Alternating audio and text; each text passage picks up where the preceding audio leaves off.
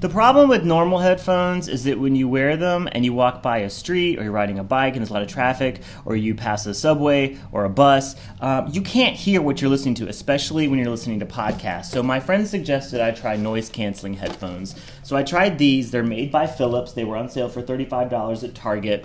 And they look like this. But they're, they're the kind that sit behind your head, you know, like this. Which, if you wear a lot of jackets, see, it has a lot of rotation.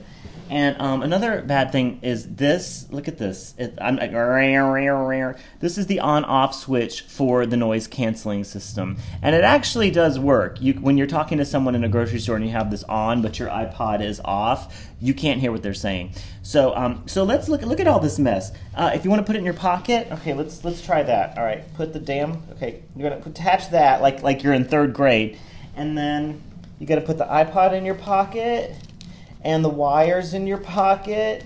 Okay, now now we're ready to go. Oh, I don't like that song. Oh gosh. Okay, let me, let me pull the wires back out of my pocket. I just want I just want to change the song. I just want to change. Okay, let's do this. Change it. It's a pain in the damn ass. Philips headphones, they work, but not with this gigantic laser beam ray thing.